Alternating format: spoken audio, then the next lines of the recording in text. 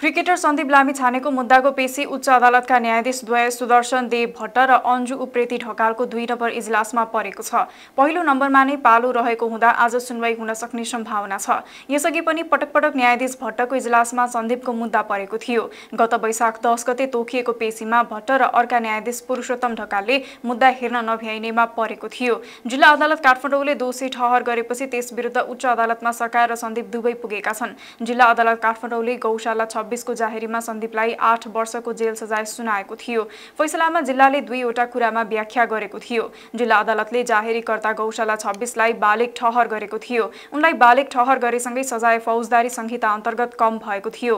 नाबालिकरणीमा बाह्र वर्षसम्म कैद हुनेमा उनलाई आठ वर्ष मात्र ठहर गरिएको थियो। जिल्ला अदालतको उक्त फैसलाले लामिछानेले थुना बाहिर रहेर मुद्दा लड्न पाएका थिए। जिल्लाले उनलाई सफाई दिँदा लिएका आधारहरूलाई सरकारी वकिलहरूले चुनौती दिनेछन्। सन्दीपका कानुन व्यवसायीले भने जिल्लाको फैसलालाई आधार मान्दै बालिकका बीचमा भएको यौन सम्बन्ध बलात्कार नहुने भएकाले सफाई पाउनुपर्ने माग गर्नेछन्। दुवै पक्षको बहसपछि उच्चले उनलाई सजाय निर्धारण गर्नेछ।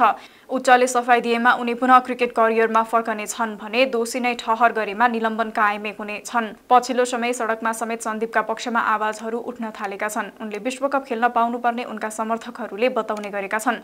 उच्चले जिल्लाकै सदर गर्ने कि उल्ट्याउँदै सजाय थप गर्ने बारे पनि निर्णय सुनाउनेछ उच्चले जिल्लाको सबै अभियोग बदर गरेर नयाँ ठहर गरेमा उनलाई बढीमा बाह्र वर्षसम्मको सजाय निर्धारण गर्नेछ। यदि यो विकल्पमा उच्च अदालत गएमा उनी थुनामै बसेर सर्वोच्च जान पाउनेछन्। यदि जिल्लाको सदर गरेमा भने उनका लागि थुना बाहिर रहेर सर्वोच्च जाने बाटो रहनेछ।